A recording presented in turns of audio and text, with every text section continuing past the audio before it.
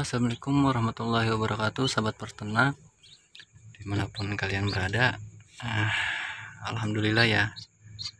Uh, hari ini ada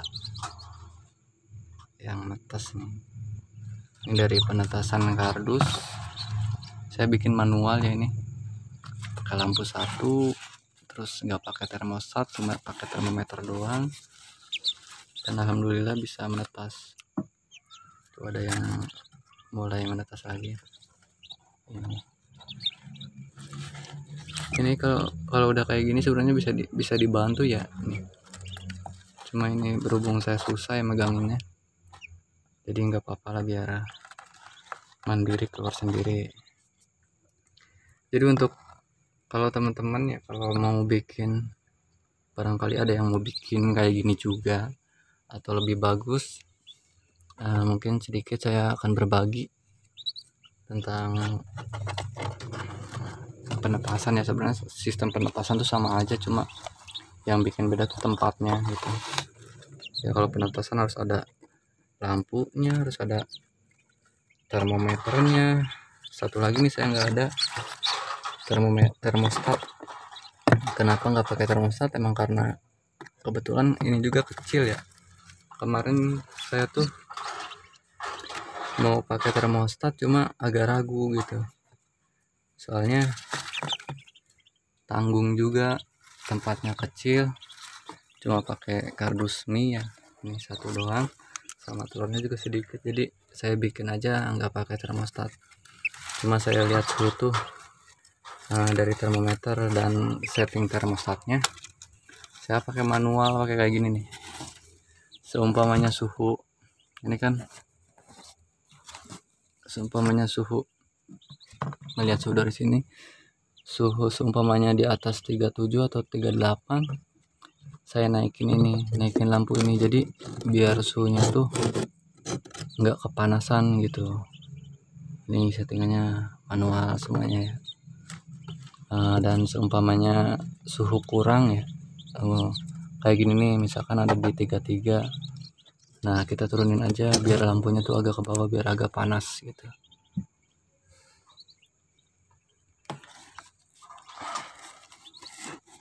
Yang penting kita selalu ngontrol suhu. Jadi jangan sampai kepanasan jangan sampai ke rendahan gitu. Kalau untuk sudah menetas kayak gini nih nah usahakan jangan terlalu panas ya ya minimal di bawah angka 37 lah. Di bawah angka 36 juga nggak apa-apa. 36 37 jadi jangan nyampe ke 38 soalnya kepanasan ya kalau nyampe 38 tuh. Nah, dan kalau kepanasan nih yang banyak sering kejadiannya kayak gini nih. Sumpamanya kalau udah kayak gini ada yang retakan. Uh, jadi kalau sumpamanya suhu tuh di 38 terus stabil jadi si telur tuh uh, banyak yang mati. Jadi ntar imbasnya tuh ke mintinya gitu. Jadi kurang bagus usahakan kalau emang udah menetas banyak kayak gini jadi suhu tuh di rendahin gitu. Ya minimal di bawah angka 37 tapi jangan kerendahan nah ini alhamdulillah juga netes semuanya dari berapa ini kemarin saya masukin tuh kalau nggak salah tuh 15 butir gitu. sekarang tuh udah ada yang netes 7 ekor sama 8 sama ini yang baru mau netes, netes. kalau yang lainnya masih pada pecah-pecah uh, ini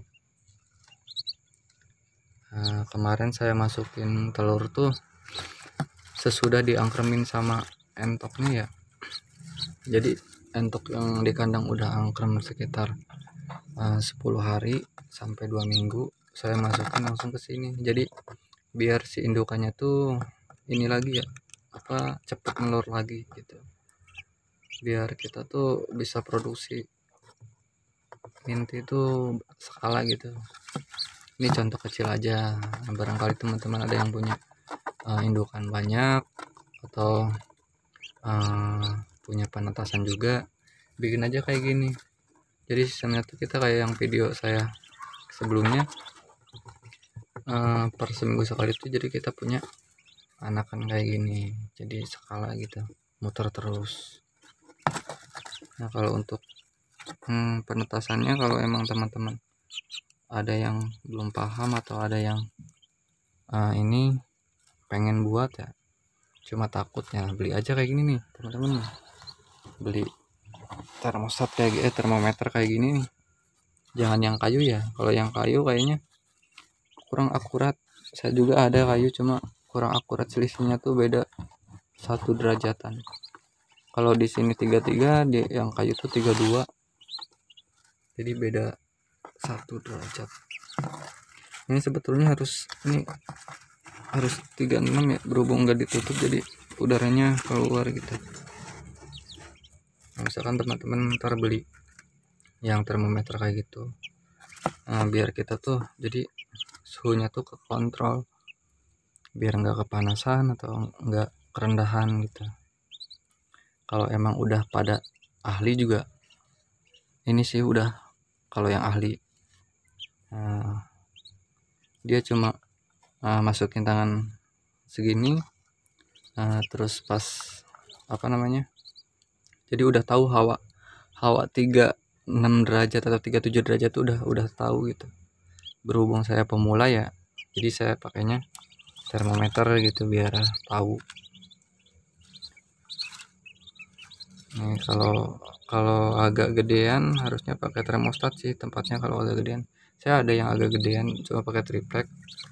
Cuma berhubung kemarin telurnya cuma sedikit ya jadi saya masukin ke sini aja saya bikin manual bikin ngedadak. Cuma lampu satu dikasih air sama kasih termometer. Dan alhamdulillah nih teman-teman. Ini hari pertama menetas ya tadi pagi. Sekarang malam. Nah, tadi pagi menetas.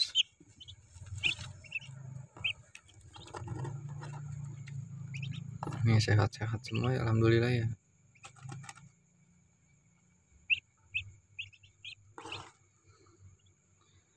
kalau emang teman-teman ada yang uh, pengen belajar buatnya atau pengen belajar caranya gampang sih ya teman-teman ya.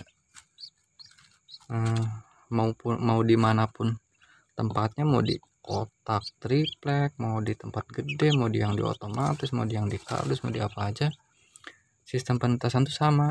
Jadi kita pakai temperatur yang settingannya 37 sampai 38 terus pakai air juga terus pakai lampu juga sama pakai termostat juga.